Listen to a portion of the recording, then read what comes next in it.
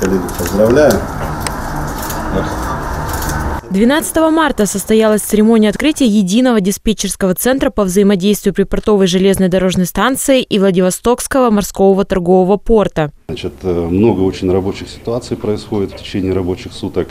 Связь по телефону – это не самый лучший метод коммуникации, поэтому объединение единых диспетчерских смен РЖД и порта позволяет убрать узкие места, оптимизировать наши совместные процессы. Мы все-таки работаем на единый результат.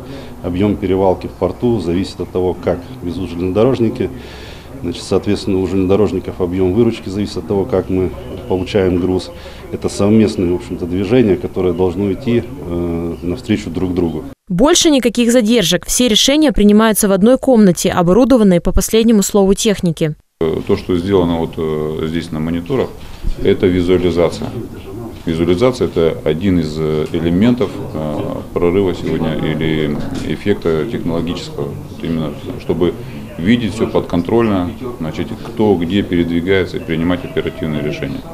Все ради одной цели – увеличения пропускной способности. Предполагается, что результат нововведений будет заметен уже скоро. Екатерина Зверева, Станислав Лазебный. Новости на восьмом.